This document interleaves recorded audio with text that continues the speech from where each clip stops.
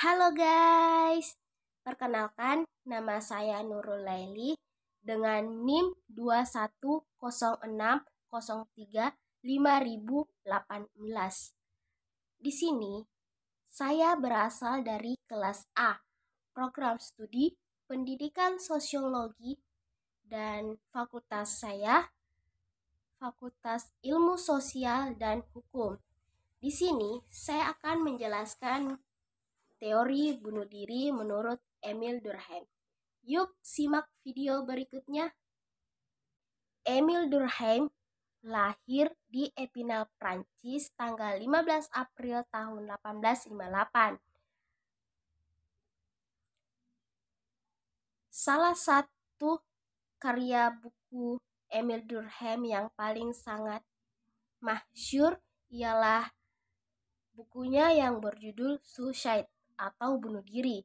Nah, di sini Emil Durkheim membagi empat macam tipe bunuh diri. Yang pertama, bunuh diri egoistik, yang di mana bunuh diri egoistik ialah e, bunuh diri yang integrasinya rendah. Angka bunuh diri egoistik yang tinggi kemungkinannya akan ditemukan dalam masyarakat atau kelompok-kelompok tempat individu tidak terintegrasi dengan baik ke dalam unit sosial yang lebih besar. Kurangnya integrasi yang dirasakan menyebabkan individu yang bersangkutan merasa bukan bagian dari masyarakatnya. Dan masyarakat itu sendiri bukan bagian dari individu.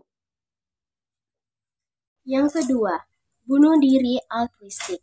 Bunuh diri altruistik terjadi karena tingginya integrasi atau rasa cinta yang berlebihan sehingga menyebabkan seseorang melakukan bunuh diri. Misalnya e, cintanya itu ditolak atau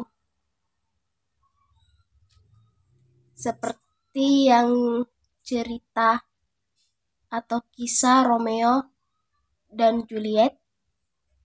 Yang ketiga, yang ketiga, bunuh diri anomik. Bunuh diri anomik terjadi karena disebabkan regulasi atau norma-norma aturan-aturan adat istiadat eh, sebagai pengatur masyarakat menjadi terganggu yang di mana norma-norma lama sudah kehilangan daya rekatnya, sedangkan norma-norma yang baru belum berkembang atau berfungsi dengan baik, maka seseorang gampang mengalami kebimbangan yang akan menghantarkan dia kepada tidak adanya pegangan norma atau aturan-aturan dalam tata pergaulan di masyarakat, eh, yang di mana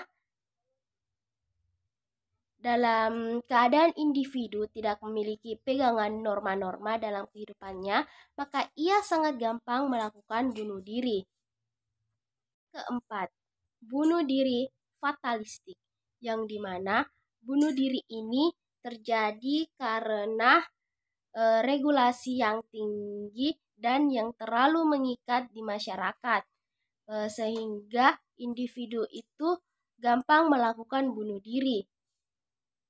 Namun, dari empat macam tipe bunuh diri, saya hanya mengambil uh, bunuh diri egoistik. Kenapa demikian? Karena menurut saya, uh, bunuh diri egoistik yang kemungkinan paling tinggi angka bunuh dirinya yang ditemukan dalam masyarakat atau kelompok-kelompok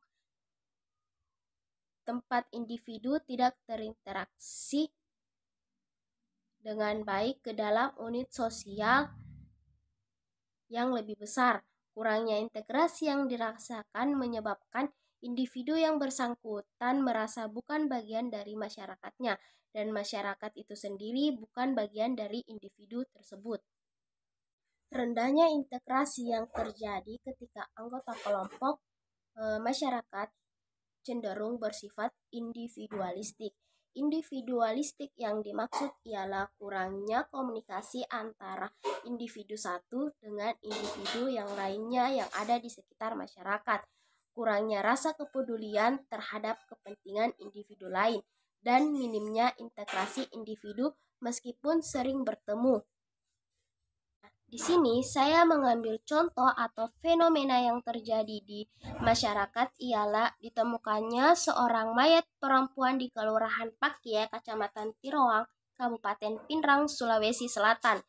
E, aksi bunuh diri seorang ibu rumah tangga berinisial B dengan umur 37 tahun yang ditemukan tewas tergantung diri pada Senin tanggal 19 bulan 9 sekitar pukul 11 waktu Indonesia bagian tengah.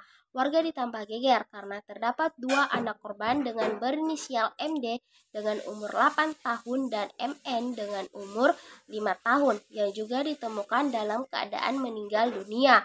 Diduga dua orang bocah itu tewas seusai diminumkan racun oleh ibunya sebelum gantung diri. Polisi juga e, mengatakan ia mendapatkan catatan utang piutang dan korban yang berinisial B juga mengirim pesan suara ke suaminya dengan dan buku catatan utang piutang itu ditemukan di samping mayat perempuan tersebut. Di sini saya mengambil contoh atau fenomena yang terjadi di masyarakat ialah ditemukannya seorang mayat perempuan di Kelurahan Pakia, Kecamatan Tiroang, Kabupaten Pinrang, Sulawesi Selatan.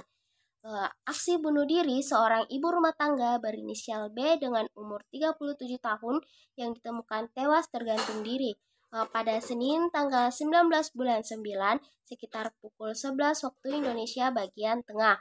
Warga ditambah geger karena terdapat dua anak korban dengan berinisial MD dengan umur 8 tahun dan MN dengan umur 5 tahun yang juga ditemukan dalam keadaan meninggal dunia. Diduga dua orang bocah itu tewas seusai diminumkan racun oleh ibunya sebelum gantung diri. Polisi juga e, mengatakan ia mendapatkan catatan utang piutang dan korban yang berinisial B juga mengirim pesan suara ke suaminya dengan dan buku catatan utang piutang itu ditemukan di samping mayat perempuan tersebut. Baik, itulah penjelasan saya mengenai teori bunuh diri menurut Emil Durkheim. Bila ada salah kata mohon dimaafkan. Wabillahi wa taufiq wal hidayah. Wassalamualaikum warahmatullahi wabarakatuh. Dadah.